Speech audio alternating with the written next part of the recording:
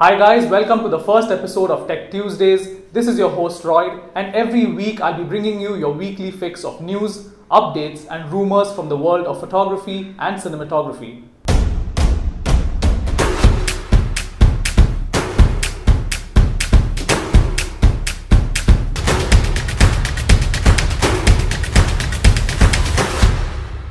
Before we jump into this week's episode, please hit the subscribe button and the notification bell so you don't miss any updates about future videos. We have a ton of stuff in store for you guys, so make sure you don't miss any. There's something very exciting coming out from Canon. And we've been waiting for so long to get our hands on one of these. But before we get to that, let's get to the news of the week.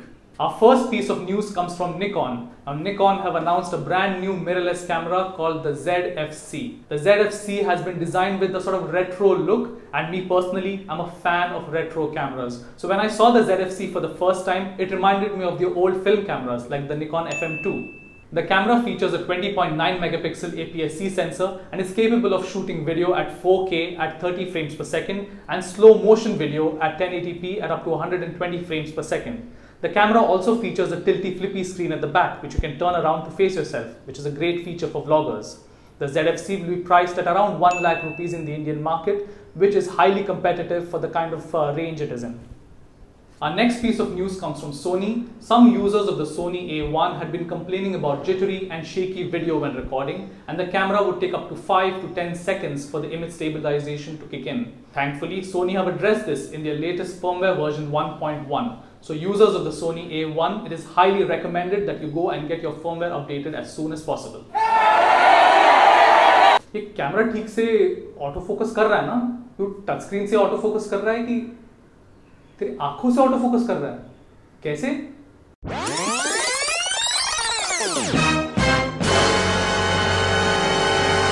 Guys, Canon have come out with something amazing and it is going to change the way you focus with your camera.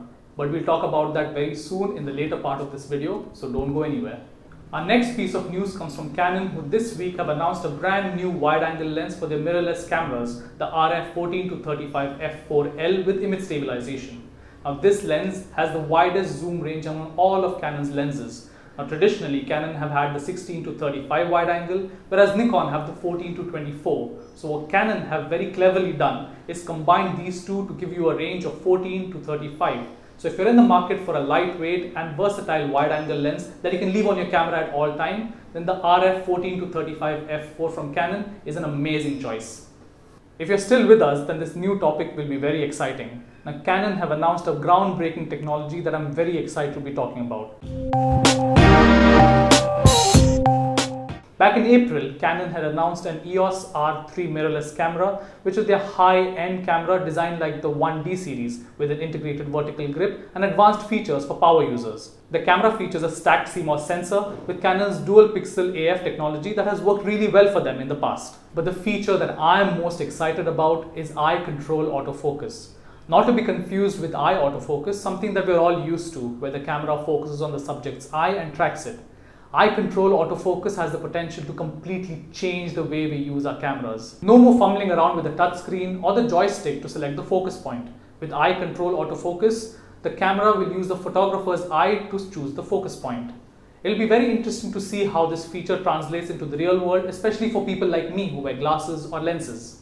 That's all we have in store for you this week on Tech Tuesdays. Don't forget to like, share and subscribe and help us build this channel so we can continue to bring you valuable content. Until next week, ciao.